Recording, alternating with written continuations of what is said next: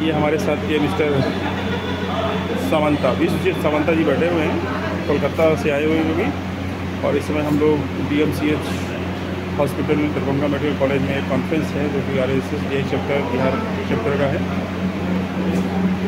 जिसमें हम लोग डायबिटिक फ़ूड केयर की कंप्लीट प्रोडक्ट सप्लाई करते हैं और इंस्टॉलेशन में सारा चीज़ें। बस, धूप में फंस गए इस बार।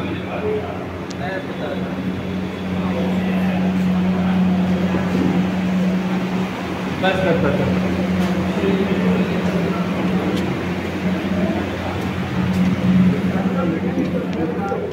Fundus that you take.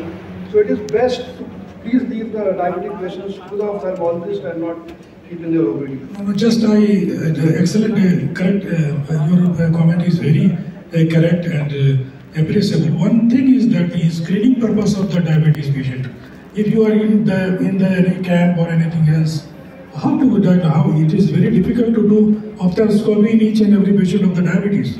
But you can do retinal, retinal photo. Just like we do, just like we uh, advise a patient to get a blood test done, whether there are thousands in the camp or one lakh patients in the camp, you tell each one of them to get a blood sugar done. So you ask each one of them to get a fundus examination done. In that way, it is best that we can save the patients. Otherwise, there is a false hope to the patient all good. Even, That's even, all I'm saying. sir. even in terms of when you talk about the medical legal aspect also, if you delay the uh, referral, you, you might uh, late. Referral is must. Yes.